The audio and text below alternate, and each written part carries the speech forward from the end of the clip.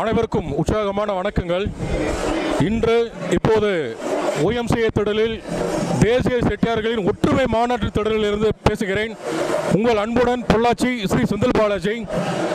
தற்போது வந்து பார்த்தீங்கன்னா ஒரு வாரமாகவே கடின உழைப்பு தலைவர் அவர்களும் பொறுப்பாளர்களும் வந்து சென்னையில் இருந்து எல்லா வேலையுமே பார்த்துட்டு இருக்காங்க. அமைச்சர்களுக்கு பத்திரிகை கொடுத்து கிட்டத்தட்ட எல்லா அனைத்து அமைச்சர்களும் தமிழக முதல்வர் அவர்களும் தமிழக துணை முதல்வர் அவர்களும் மாபெரும் வெற்றி மாநாட்டுக்கு வர்றதுக்கு வந்து ஒத்துழைப்பு தந்திருக்காங்க. அது மட்டும் இல்லாமல் நமது தேசிய செட்டியார்கள் பேரவை சார்பாக சில நல்ல தீர்மானங்கள் நமது ஜாதியினருக்கு மட்டுமல்ல ஒட்டுமொத்த தமிழக மக்களுக்கும் ஏன் இந்தியாவிற்கும் பயன்படும் வகையில் தேசிய செட்டியார்கள் பேரவைத் தலைவர் அண்ணன் ஜெகநாத் மிஸ்ரா அவர்கள் தீர்மானங்களை முதலமைச்சருக்கு கொடுத்துள்ளார்.